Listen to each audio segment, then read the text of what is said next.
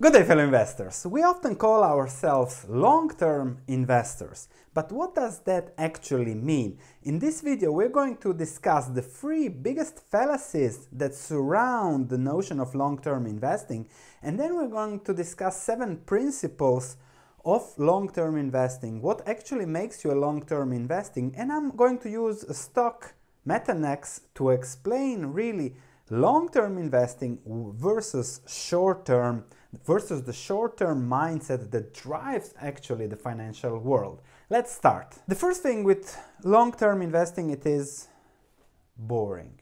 It is deadly boring.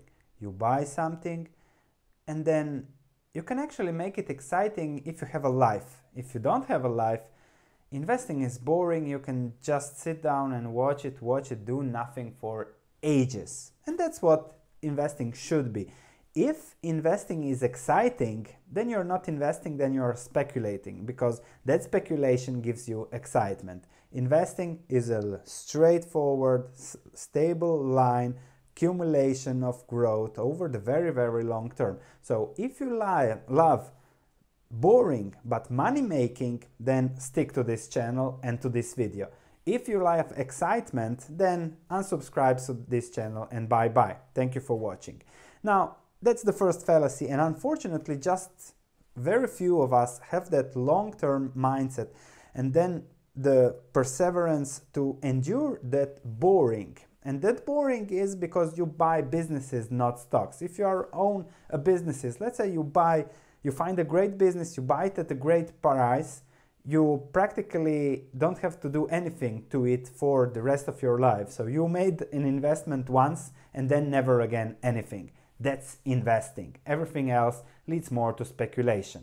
Secondly, the second fallacy is when a stock drops, like Kraft Heinz did over the past year, then I read a lot of in the comments, oh, I bought at this level, I bought at this level, and I'm in, the, in it for the long term. And that comment, I'm in it for the long term, always comes out after there is a stock price drop. Because then, okay, they hope A, they have anchoring uh, behavioral concept that describes that they anchor the success of their investment to the price they paid in the past. They want loss aversion, they want to avoid loss aversion, they don't want to lose money, so they hope that the price returns to that level so that they can sell and feel good about it. That's again speculating, and the worst thing is that they are focused on the stock price, not on the actual business, on the actual investment. So the second fallacy is that many focus, think they are long-term investor, uh, investments, investors, but then focus on the stock price, especially when it goes down, and that's again a fallacy. Many people think they are long-term investors, but cannot be. To be a long-term investor, you have to own a business, not the stock, the business. To own a business, you have to understand the complete business. You have to listen to the last conference calls of the last three years and then randomly probably the annual call over the last five, seven years to understand how the business works. You have to know how to analyze the financials, how to analyze the sector, the whole complete sector, where the business operates. And when you know that, then you can invest your money into the business. You have to be a business analyst to be a long term investor. If you're not a business analyst, then you're again buying stocks. So, to analyze businesses, which is what I do day in and day out, it takes a lot of time. Many ask me, what do you think about this stock, this stock, this stock? And I reply, without an analysis of 10, 20, 30 pages and me spending five days on it, plus an analysis of a sector, analyzing competitors, me spending a month on it, every opinion I have is worthless. Is even worse than that, is can be even costly. So that's something again that many think they are long-term investors, but then they don't apply the necessary work to become a long-term investor. For example, I made a video about Vedanta that's down 20% since I made that video and I get many many questions about it on a daily basis. When will the stock go up? What will be the catalyst? Will the company go bankrupt? How will Zambia affect Vedanta? What will be the dividend? And that's the kind of questions I get all the time. And that's because the stock dropped and the stock keeps dropping. But if you invest in businesses, you focus on other things. You focus on how much you can add, when you can add, at what price to add the second round, etc. So that's very different to what most out there do again. The third fallacy is that many say when you are a long term investor, you are never allowed to sell a stock. That's again completely wrong because being a long term investor, to use the definition from Benjamin Graham, means that when you're investing for the long term, it means buying an asset at a price below its intrinsic value and then wait until the price of an asset is again in line with its intrinsic value. When that happens, you compare what you own to other opportunities, sell the overvalued and buy the undervalued. So this doesn't mean you hold forever. If the stock price goes far up and you think it's far above intrinsic value, of course you sell.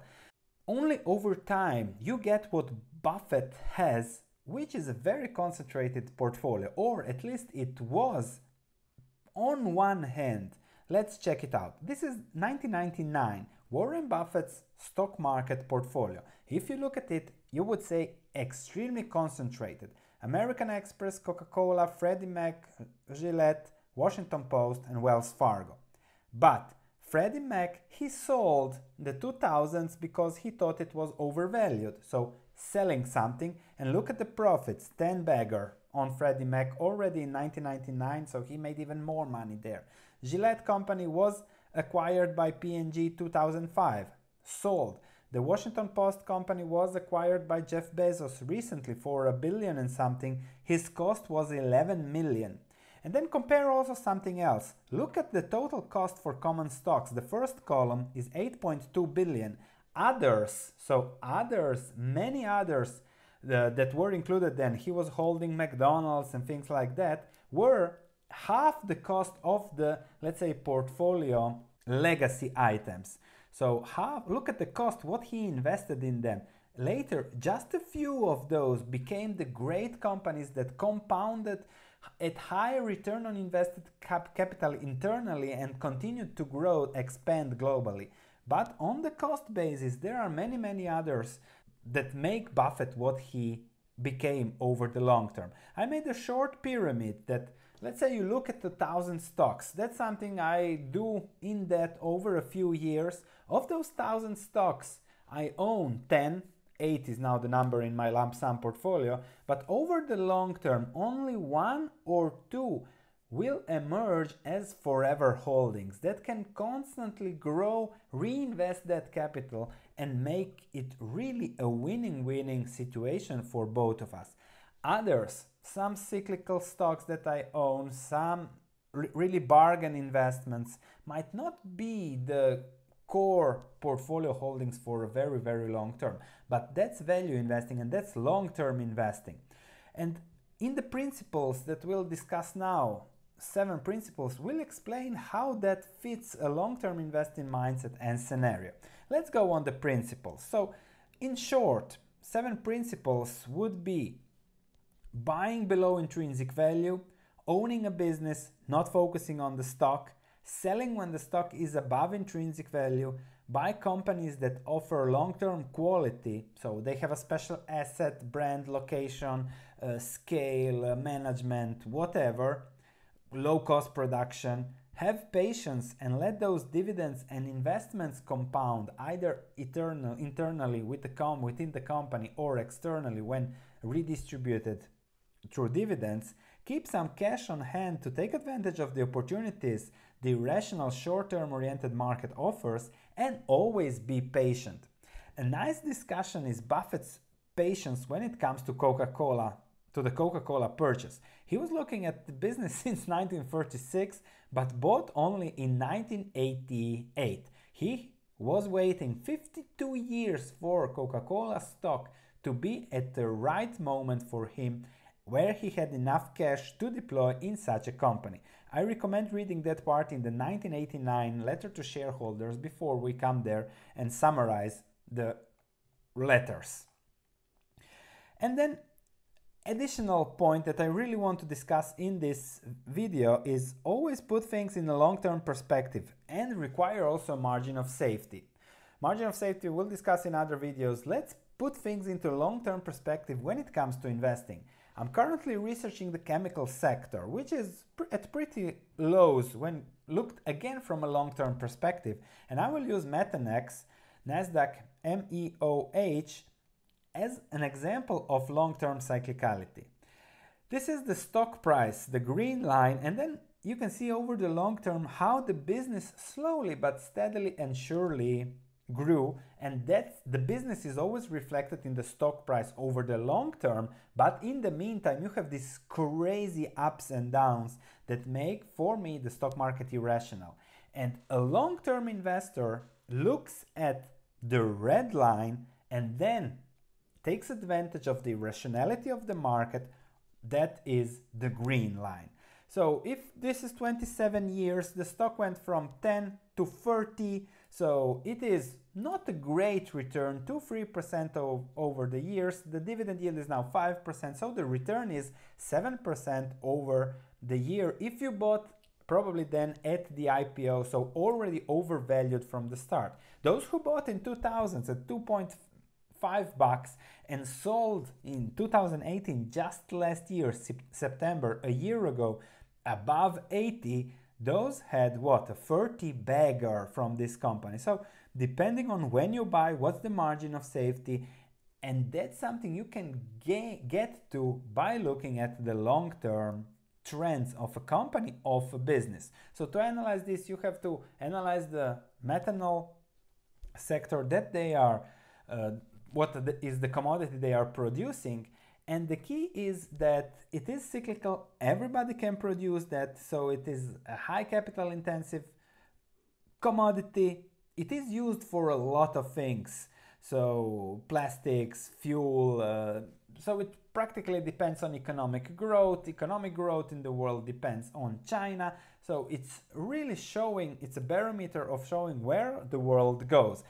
Future expected growth, all things as equal, is 5% per year and then producers from Iran or something that use the cheap gas to produce methanol add the supply in order to fulfill that demand. If there is a year where the demand doesn't grow, then you have oversupply and methanol prices really crash. And that has happened, let's say 2016, 2009, and it's happening again, and consequently, Methanex stock price is also dropping. But then you look, okay, let's look at the long term. Long term investors believe the world will continue to grow. Will it be China, India, Africa, global gr- developed countries are also growing. Germany is paused a little bit, but still the world is developing. And then you look, okay, what is the average 10 year average methanol price is 350 per metric ton or whatever it is the measurement there and you see that at 350, at an average price over the past 10 years, the company makes free cash flows of 625 million. That's okay, you have now the average. And you can estimate that probably in the future it will be higher or lower. If you want to be more conservative you add a margin of safety. You you say okay average future prices will be 300 and then cash flows will be 400 million if average future prices are 250, then that will decline at the bottoms that we have seen in 2016, 2009, 2016 Expect the Chinese crisis that didn't happen, then profits will be much much lower and this will look like an expensive stock. But when that happens, the cycle turns and then they make a lot of money, 900 million in profits, operating cash flows 2018. They'll make even a billion if things are good. Here, when things are bad, it will be zero. And then you take the average of that, and that's long term investing. You look at what the company will do over the long term and then invest when you find a high margin of safety. The more you can wait and the more you can compare to others and really get those lows when you buy, reinvest your dividends or whatever, the better your re return will be. If you buy quality companies that have a low likelihood of going bankrupt, then the lower the price is over the long term because short-term investors push the price down because if there is more room to fall, everybody is selling, which ignites more selling in a spiral, then you know you can at some point start averaging down, buying cheap, and have low risk long term, extremely high rewards, like those that bought in 2009 or in the 2000s, 2000 crisis. So this is long-term investing on whether to buy Methanex now. Well, it depends on what your required return is. Let's say the market cap now is 3.1 billion. The cash flows, average long-term cash flows will probably be 400 million. So that's already good return. Be a little bit more conservative. Let's say cash flows 300 million. That's a 10% return long term. Volatility of the stock has to be implemented in that if you want a larger margin of safety, wait for the market cap to fall to 2.3 billion, then you have a 15% return. If you want a 20% return, then wait for 1.5 billion, which might happen given the volatility and the short-term orientation of the market, especially if we see a recession, China slowing down. And then you can buy such companies that will do very well over the long term. The key is that high prices, high methanol prices over 2018 create a high input of investors all around the world to invest in producing capacity. Low prices create no input and therefore people don't invest and it's normal cyclical long-term investing. So thank you for watching. If you like to read such reports as I write on Methanex and many other stocks over the looking from a long-term value perspective with a margin of safety, feel free to check my stock market research platform. If you have any questions, please send me an email. Thank you for watching. Looking forward to your comments and I'm looking forward to seeing you on Friday when we'll give a view on the commodities sectors in the usual stock market news. We look at what copper and other commodities say about the probabilities of the coming recession, stock market crashes, yes or no. Thank you, and I'll see you in the next video.